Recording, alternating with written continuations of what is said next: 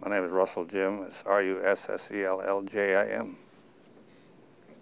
And uh, can you tell us um, what the land that is now the Hanford Reservation has meant to the Yakama people? Uh, most definitely. Uh, the Hanford area was our wintering ground, the Palm Springs of the area. And uh, the winters were milder here, and so therefore we moved here and dispersed to all other parts of the country when uh, spring came. And our usual and accustomed places involve Canada, western Montana, northern Arizona, northern California, and the Pacific coast. So consequently, in the Treaty of 1855, um, we included such language and it was accepted by the United States of America in a contract called a treaty. And as a consequence, we thought uh, then we would forever have the right to utilize the natural foods and medicines and to hunt and fish in all usual and accustomed places. We lived in harmony with the area, with the river, with the, all of the environment. All the natural foods and medicines were quite abundant here. And as the snows receded, we followed back up clear into the alpine areas, uh, into the fall season, and then storing our food that we had gathered all spring and summer. We picked it up on the way back here to Hanford. With the coming of the Manhattan Project, uh, it was simplified eventually by them uh, put it in writing that the area had the abundant uh, water, cold water, clean water that they needed to cool their reactors. Uh, the abundance of electricity was provided by Grand Coulee Dam and Bonneville Dam. The area was a was an isolated wasteland, and the people were expendable. And um, that's what is was in writing and uh, therefore the Manhattan Project was justified here. And uh, everyone was moved out, including the Yakama Nation people. The non-Indian community was, was uh, compensated for their removal. Of course, there were a few that refused, uh, but they were, their land was condemned and their, uh, they were paid a dollar.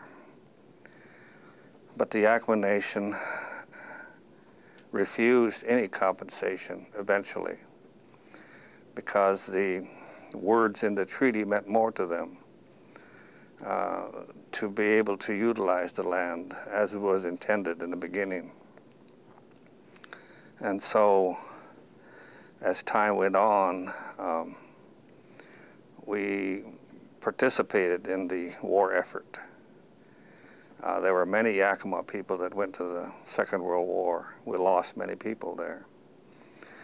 Matter of fact, statistics on a national basis show that the indigenous people of this country, in comparison to the population status, um, percentage-wise, provided more uh, bodies to war efforts and police actions than any other any other race. And so as the consistent um, mass public deception uh, continued on until 1986 that don't worry, everything's fine. There was a forced release of 19,000 reclassified documents. And uh, in those documents showed that there were tremendous releases of radioisotopes to the environment, primarily uh, iodine 131, and uh, some intentionally in what they call the green run, an intentional release to test the people on the people and the environment. And I think as a result of all of this, the Yakama people and many others are suffering the consequences health-wise. So your question regarding what does the land mean, it means that our health being affected also as a result of the environment being affected. The health of the Yakama Nation people depend upon the environment, yet through today, and it will be through tomorrow. And so there is a concerted effort now by the Yakama Nation to influence the cleanup of the site. We know that it will never be returned to pristine status in the next 500 years, but at least uh, there should be an effort to set the stage for cleanup. And there is yet a new and innovative technology that could be utilized. Instead, uh, there is um, a lot of activity out here, but hardly any cleanup. And so, with the consequences of our health issues, uh, we need to have some uh, scientific uh, studies done, some diligent efforts, and of course the funding to determine what has happened to the health of the Yakama, what may happen to the gene pool of the Yakama in the future. And I think my question of uh, 15 years ago was, when is the time the mutations are going to show up?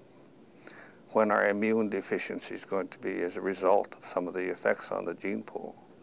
The gene damage, the DNA damage, the chromosome damage. I think it's now.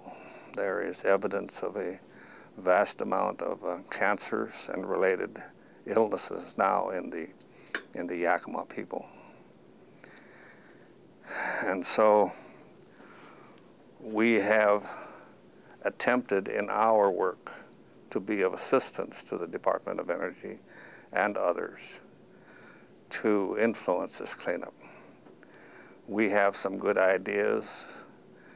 We have a mandate to preserve and protect their land and resources for the future generations. And we do not look out just for the Yakama people. Uh, we look out for all people. The Yakama Nation has taken the stance since 1978. Our position is that we are neither pro-nuclear nor anti-nuclear. We are pro-safety for all people.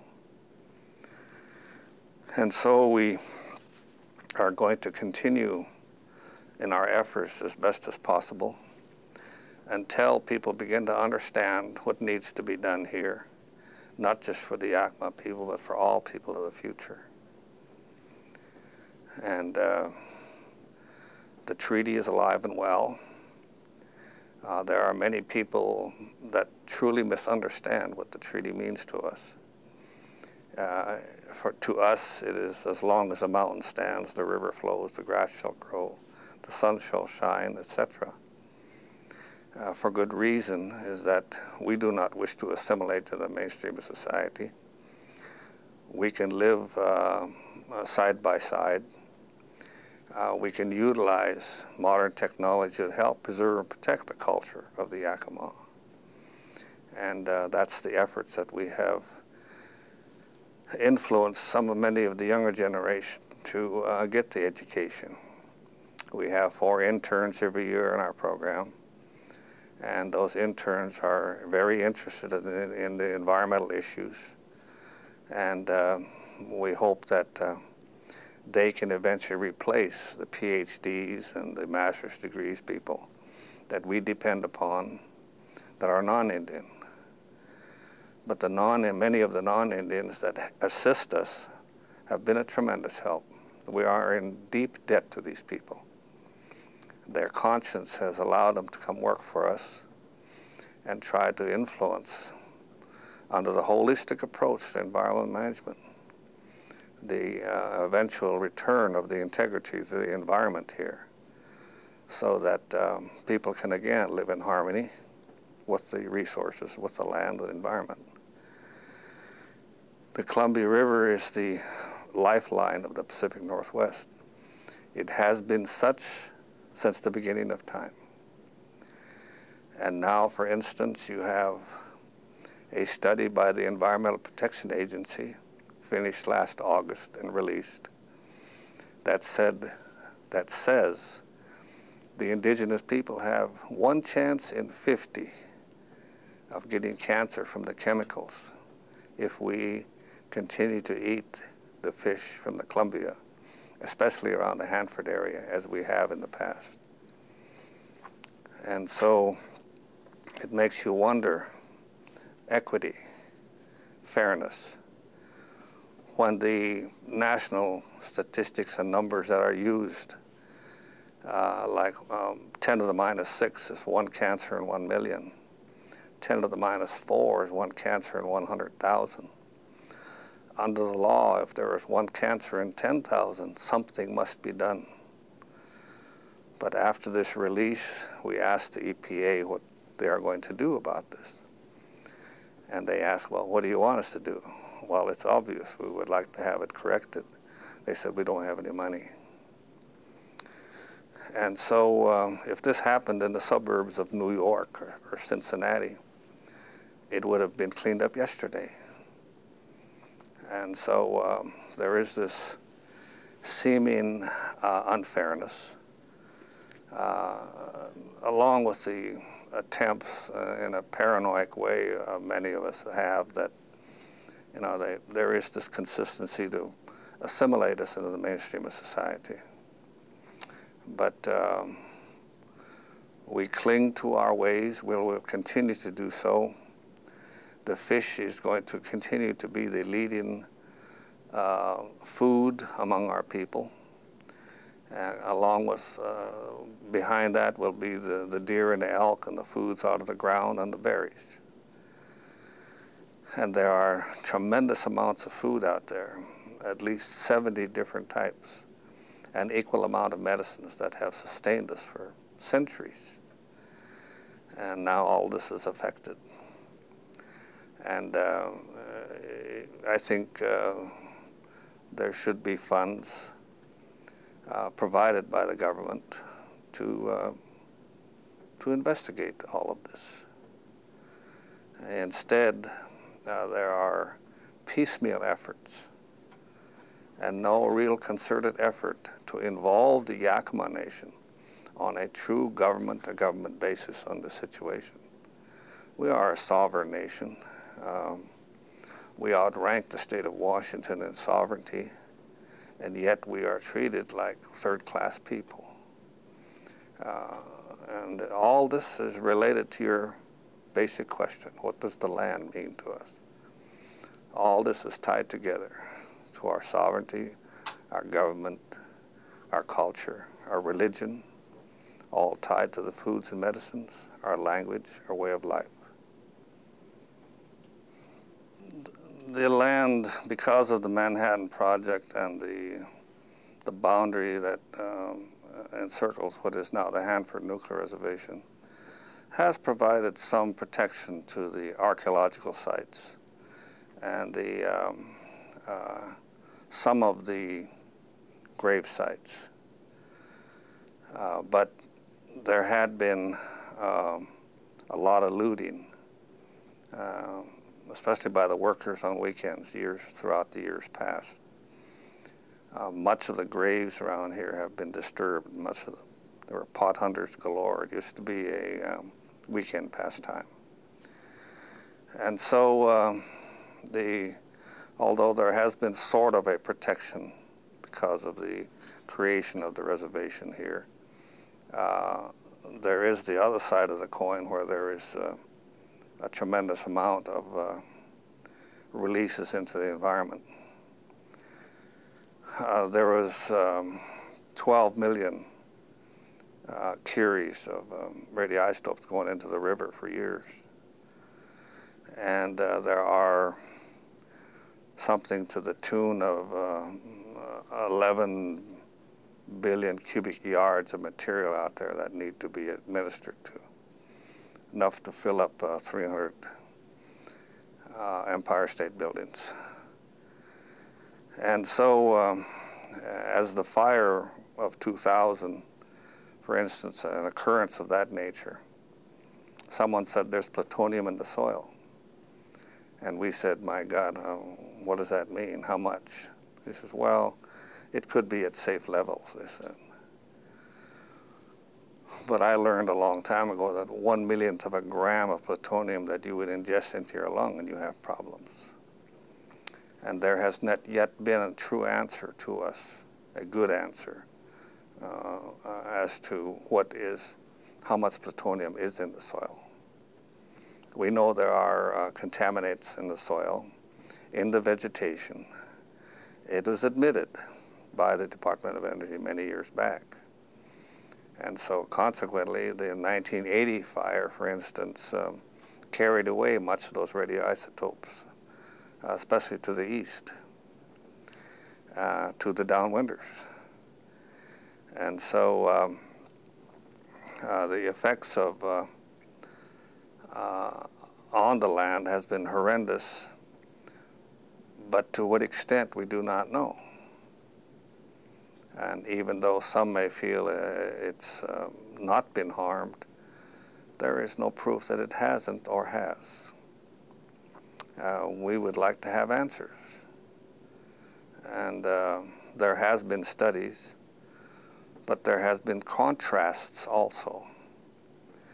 Um, Battelle says they have scientific studies on the river, and they say everything's fine. If so, then how come EPA came out with a study that says uh, there is one chance in 50 uh, of getting cancer from very contaminated salmon and fish? And so um, what we would like to see in the future would be a true coordinated effort with the Yakama Nation. Now, the federal government uh, and the, each administration in the last few administrations said we must work with these indigenous people on a government-to-government basis. But there has been different definitions of that.